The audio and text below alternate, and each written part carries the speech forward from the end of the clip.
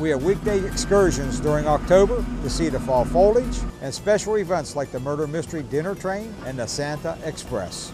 I'm Jim, your conductor. All aboard for the Western Maryland Scenic Railroad.